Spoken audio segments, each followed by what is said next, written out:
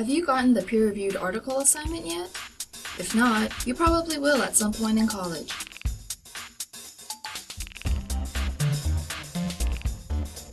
Why do profs ask you to find these articles?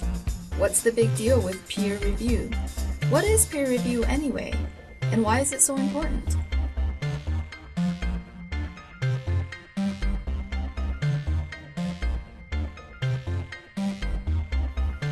As you know, professors and researchers at colleges and universities are up to a lot more than teaching students. They're also really busy creating new knowledge. They create this new knowledge by studying what people already know and then experimenting to find out more. This knowledge might be a new way of thinking about a problem or understanding a poem, understanding how the human body works, or the nature of the physical world itself. So what's all this got to do with peer-reviewed articles? Well, over time, let's say the past 250 years or so, peer-reviewed articles have become a standard way to keep track of new knowledge being produced. Peer-reviewed articles are different from other types of writing because they're scrutinized by expert scholars. But before we get into that, first, let's take a look at how new knowledge is often produced.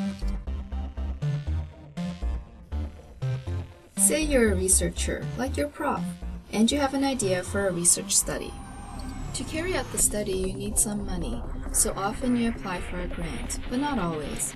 If your idea is good, you get the money and carry out your research. Then you collect the results, analyze it, and then explain what it all means.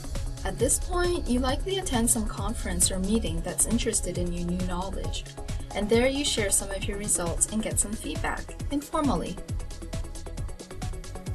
Then you take what you have and write it up as a draft article, also called a manuscript, which you then submit to a journal publisher.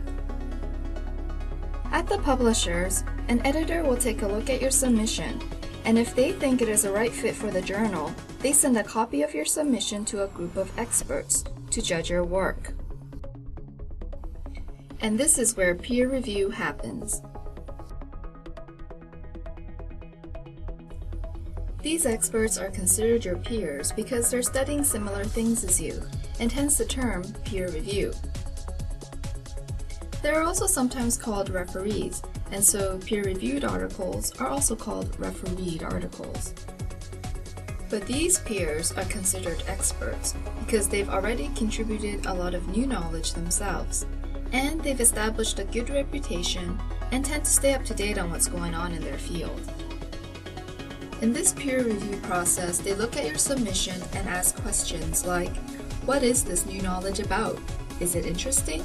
Is it significant? What methods did you use to come up with it? Do you make sense? Are you logical? And most importantly, has this knowledge already been discovered by someone else? If they think your work is up to snuff, they will recommend that your manuscript be published as an article in that journal. But even then, they usually ask you to make changes to improve it. Most submissions don't get accepted. Anywhere from 30 to 90% of submissions end up in the reject pile. The most prestigious journals tend to have a higher rejection rate.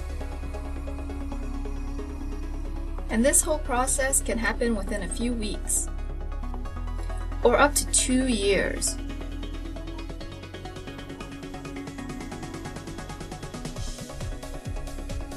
Once the journal is published, it is sent to a library that subscribes to it and it usually is a library because individual subscriptions are way too expensive. From the library, students and researchers can find out about this new knowledge and develop an idea for a research study of their own. So let's recap. Peer-reviewed articles are an integral part of how new knowledge is created and shared. Peer review can also happen here when applying for a grant and here when planning a conference program. Conference papers are also published and made available through the library. By the way, like all established systems, the peer review process has its critics, and scholars continue to think about how the peer review process might be improved. If you need help finding peer-reviewed articles on your topic, Check out the library's article databases or ask a librarian.